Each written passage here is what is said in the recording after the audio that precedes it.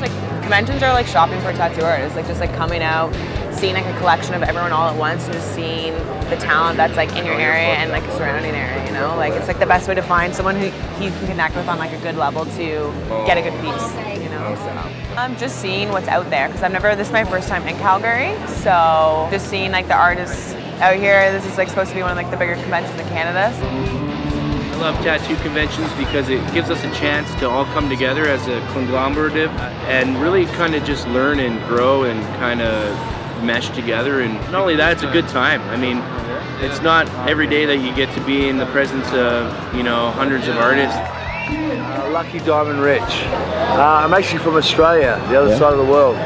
Flying all the way over here to represent Australia and be a part of the tattoo convention.